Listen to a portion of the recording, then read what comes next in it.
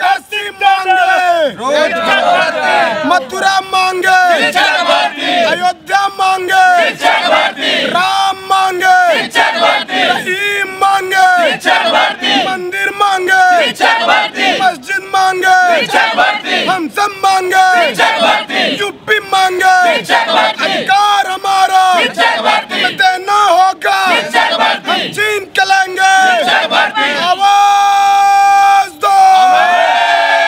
नमस्कार आप देख रहे हैं पब्लिक न्यूज़ टीवी मैं हूँ आपके साथ अंजू कश्यप। इस समय मैं मौजूद हूँ लखनऊ के इको गार्डन। यहाँ पर सत्तानवे हज़ार शिक्षक भर्ती के अभ्यर्थी मौजूद हैं। बता दें कि जब योगी सरकार सत्ता में आई थी तो उन्होंने शिक्षक अभ्यर्थियों से वादा किया था कि हर वर्ष शिक्षक भर्ती निकाली जाएगी, लेकिन उन्होंने अपना यह वादा नहीं पूरा किया। इसीलिए आज शिक्षक अभ्यर्थी कई समय से इको गार्डन में प्रदर्शन कर रहे हैं। आपको बता दें कि आचार संहिता भी लगने वाली है। तो आइए इनसे जानते हैं कि आखिर इनकी मांगे क्या है। हमारी प्रथम मांग पहली है कि अगर अभी चुनाव आयोग ने बैठक किया और वो अपनी लास्ट सूची पाँच जनवरी को मतदाता सूची जारी करने जा रहा है तो हमारे पास भी समय कम है।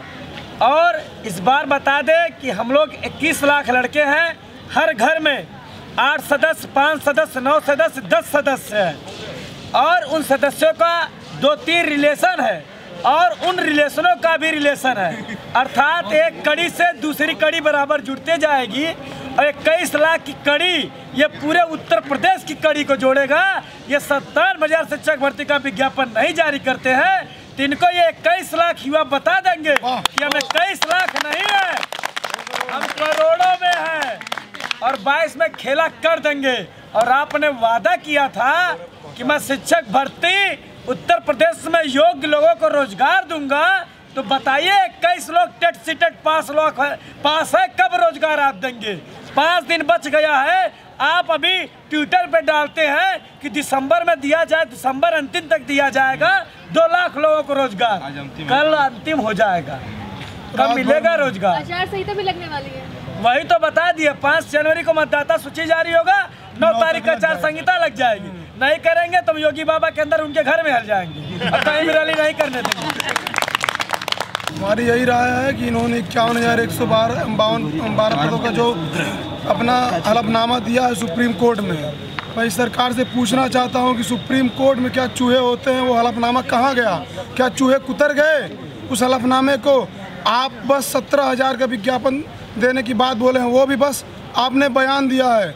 अगर आपने सत्तानवे हज़ार प्राथमिक शिक्षक भर्ती का विज्ञापन आचार संहिता से पहले जारी नहीं किया तो आपको 21 लाख प्रशिक्षु जो अभी भी बेरोजगार पड़े हुए हैं आप अपनी हर रैलियों में बोलते हैं हमने पाँच लाख रोज़गार दिया दस लाख रोज़गार दिया। तो। 28 28 तारीख को 23 तारीख को जो विधानसभा घेराव हुआ वो कौन से प्रशिक्षु थे, थे मैं इस सरकार से पूछना चाहता हूँ। उनके पुलिस प्रशासन के द्वारा गाली सुनेगा तो देश का विकास कहाँ पे होगा?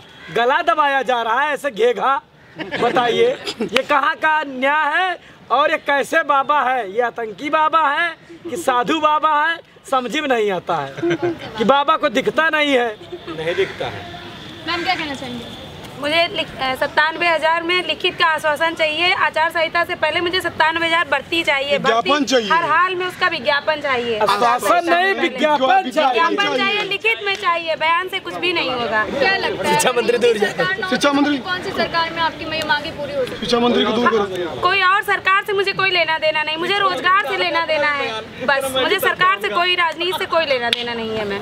क्या मांग? रहे हो शिक्षक नई प्राथमिक शिक्षक भर्ती सत्तावन हज़ार की मांग है। जिसके लिए हम सब आज अनुरोध धरने से पच्चीस दिन बैठे हुए हैं। आप देख सकते हैं, खुले मैदान में, खुले आसमान के नीचे, इस ठंडी में हमारे साथी हमारे साथ बहनें भी संघर्ष कर रही हैं। तो बस यही मंच के माध्यम से हम कहना चाहेंगे कि प्रदेश सरकार हम सबकी बातों को यथावत जल्द शीघ्र सुने। अन्यथा जिस प्रकार से 28 तारीख को हमने लखनऊ विधानसभा को तीन घंटे बाधित किया है अगर आगामी तीन दिनों में नहीं सुना जाता है तो हम पूरा एक दिन जाम करने का काम करेंगे और संख्याएँ लाखों की संख्या में करेंगे। आचार संहिता लगने वाली है सात से आठ दिन बचे हैं। और उससे पहले हम बहुत कुछ कर डालेंगे और सरकार गिराने के लिए और सरकार बनाने में हम बहुत बड़ी भूमिका रखते हैं। हम सब भावी के अध्यापक हैं डी एल प्रशिक्षण पूर्ण कर चुके एक भावी अध्यापक हैं। और हमारी संख्या प्रदेश में इक्कीस लाख है और इक्कीस लाख के साथ इक्कीस लाख परिवार है। और जहाँ भी हम जाएँगे एक मत पे जाएँगे। और इसलिए निवेदन है कि माननीय योगी सरकार से मैं कहना चाहता हूँ कि तीन दिन का फिर पुनः अल्टीमेट दिया गया। अगर प्रदेश सरकार नहीं सुनती है तो पुनः फिर पचास हज़ार से एक लाख की संख्या फिर लखनऊ धरती पर उतरने का काम करेगी। जैसा कि आपने देखा कि सत्तानवे हज़ार शिक्षक के अभ्यर्थियों ने यूपी सरकार को धमकी तक दे डाली है। कहा है, सरकार उलट सकती है अगर ये भर्ती नहीं हुई। कैमरा पर्सन विशाल के साथ, मैं जो